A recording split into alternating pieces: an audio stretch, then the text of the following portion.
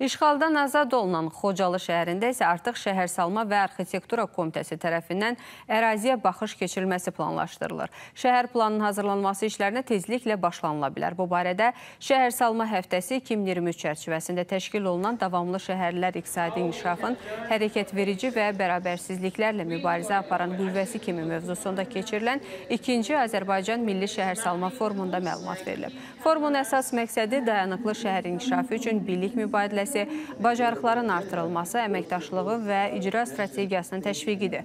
Forumda şəhər nəqliyyatının modernləşdirilməsində meydana çıxan problemlər, piyada yönümlü şəhərlərin salınması və digər məsələlər müzakirə edilib.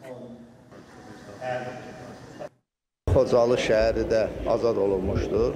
Bütün xalqımız bu sevinci və bu qüruru yaşayır. Hal-hazırda həmin əraziyə böyük bir qrupun göndərilməsi və ilkin baxışların və dəyərləndirilmələrin keçirilməsi e, üzərində hazırlıq işləri görür. Yəqin ki, yaxın günlərdə bu həyata keçiriləcəkdir.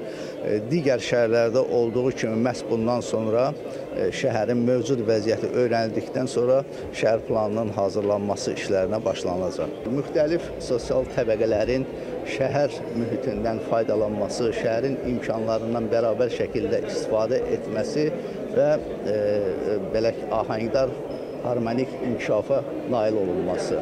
Məhz bu mövzular, e, yəni qeyd elədiyim kimi bütün dünyanı düşündürür və e, çox belə qürurverici haldır ki, məhz Azərbaycanda e, həmin e, forum təşkil olundu.